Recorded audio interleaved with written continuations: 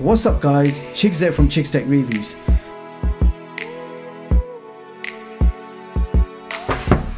So in this video, I'm going to put the new Nokia 7.2 through a series of tests to find out exactly what this smartphone is capable of.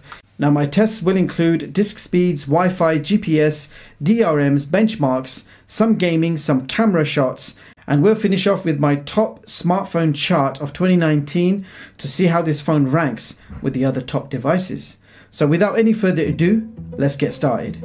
So first of all, we are going to begin with a boot up speed test. The smartphone is totally off and I got my timer behind. So here we go. One, one, two, three. So as soon as I felt the vibration, the timer goes on. So let's see how long it takes. So it did take 30 seconds to boot up this smartphone. So we are going to test out the speeds of the internal storage. Here we go. So here are your results, read speeds 279 and write speeds 182. So here is the DRM information. This does support Google Widevine level 1, which means we do have support for Netflix in HD quality.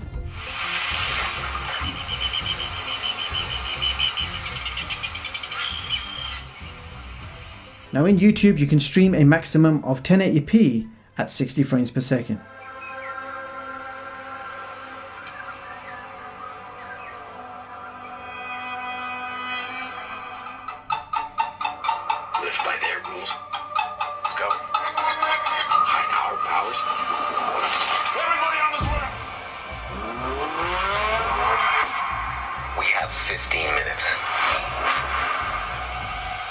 Moving on to the Wi-Fi speed test.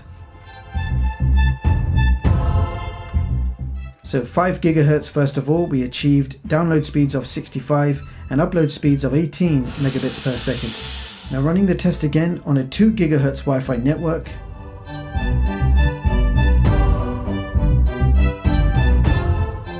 And we achieved a download speed of 23 and upload speed of 18 megabits per second. So quick look at CPU Z. You can see we got the Snapdragon 660.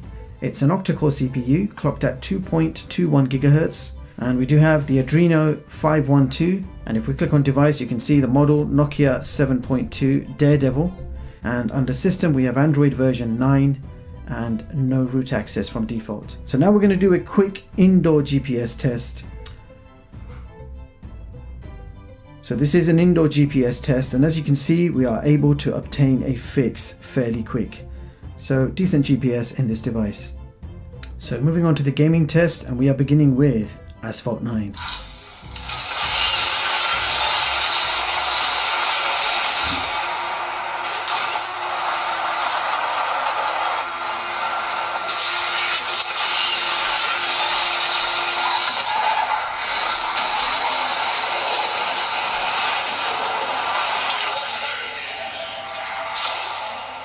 So the next game we are going to test is of course my favorite Call of Duty Mobile.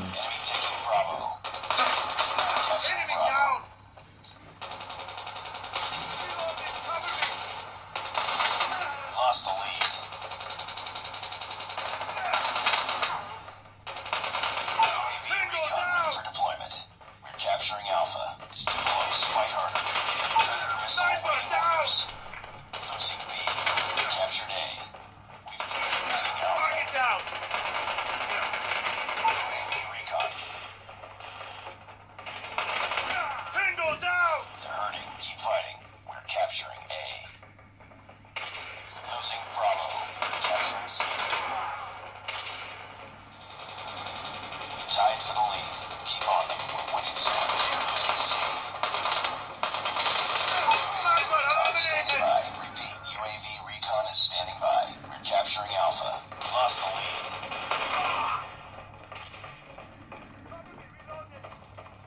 We're capturing B. It's too close. Fight harder. Capture A. Tango down. Missile awaiting orders. Now let's test out the fingerprint sensor. It is located on the back, easy to reach, and it unlocks the smartphone accurately but with a second or two delay So not the fastest fingerprint sensor I have ever seen, but it does do the job okay. Now this smartphone also supports face unlock, so let's put it on the table and we're going to test out the face unlock feature. So it took two or three seconds to actually register the face and unlock itself. Let's do it again. So yeah, it's quite a slow face unlock. I'm, I'm also going to pick it up and try it to see if that makes a difference. So you do have a slow fingerprint sensor, but an even slower face unlock. So now we're going to do a quick sound test. So no stereo speakers, just a single speaker at the bottom.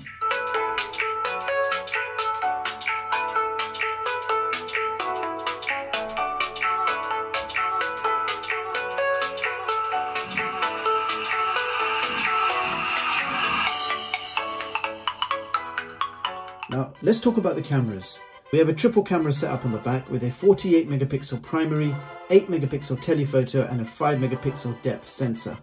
And on the front, we have a 20.1 megapixel selfie camera, and that is located on the teardrop notch.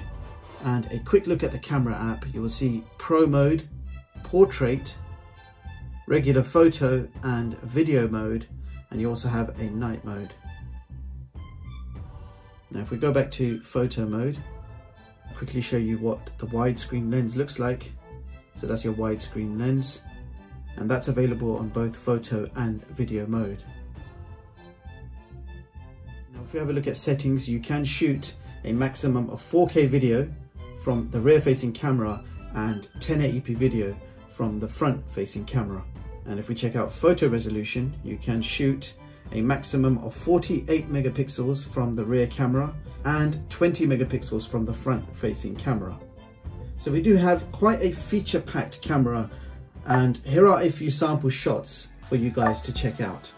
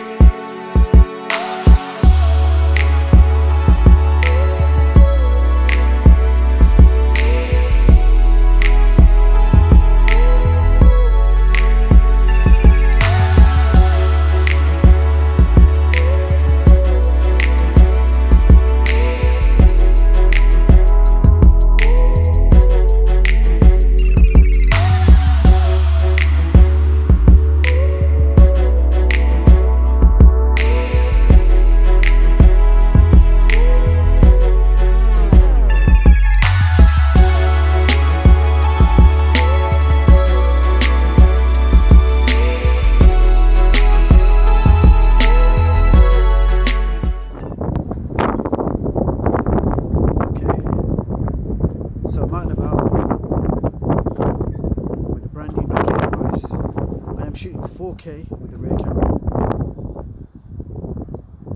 I believe there is image stabilization and it does look quite good on the screen. So 4K at 30 frames per second with the rear facing camera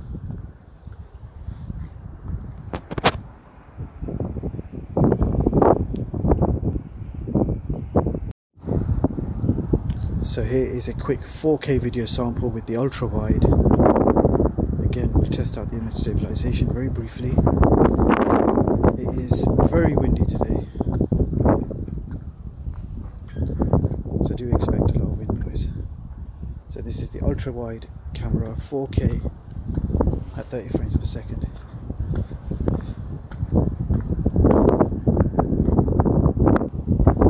So this is 1080p video with the front facing camera. And it's freezing cold, I can't help it. Got my full jacket on with the hoodie. And this is what you can expect in terms of front facing video quality.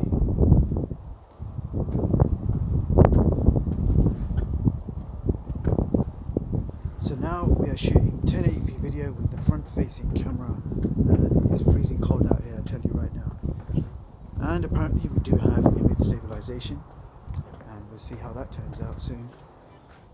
So that brings us to our benchmarks beginning with Geekbench single core of 338 and multi-core score of 1482. And in the Antutu benchmark test, we achieved 167K. So let's see how this compares with the others. So here is my top performing smartphone chart for 2020 and as you can see the Nokia 7.2 has taken position 15 on this chart with a benchmark score of 167k. Now you can view the full versions of all my charts online at chigztech.com and read them at your leisure. So there you have it guys, that was my hands-on speed test of the new Nokia 7.2. Now this is how I see it.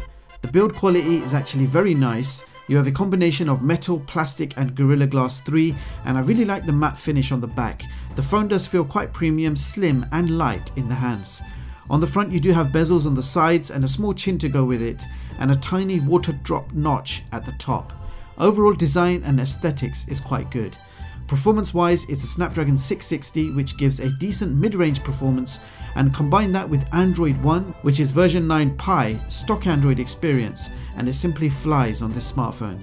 And you also have the bonus of Android 10 which should be coming soon for this handset. Gaming on the Nokia 7.2 was great. I could play more or less any game from the Play Store on medium to high settings with no issues at all.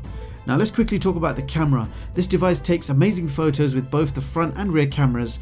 Also you can shoot 4K video and the quality leaves you a little underwhelmed especially due to lack of image stabilization. But nevertheless it's still good enough in its mid-range class. Now you have a single speaker which produces loud and clear sound and the overall quality is not bad. Battery life is actually very decent. You can achieve a day of medium to heavy usage with around 4 to 5 hours of on-screen time and a 10 watt fast charger is included in the box. Now let's talk about the extras. There is no IP rating or wireless charging, but we do have a headphone jack, NFC and a micro SD card slot. Bottom line, the Nokia 7.2 offers a premium design and a pretty decent performance at a mid-range price of under £300. You're getting a great user experience with Android One and a decent camera which excels in the photo department but not so much in the video department and also not a great wide angle lens. This is a true mid-ranger and it does well in nearly all the categories that we tested. Overall, I rate this smartphone an 8 out of 10. Do let me know what you guys think of this smartphone in the comments below. Meanwhile, thank you so much for watching and I hope you all have a brilliant day. I'll see you guys in the next one.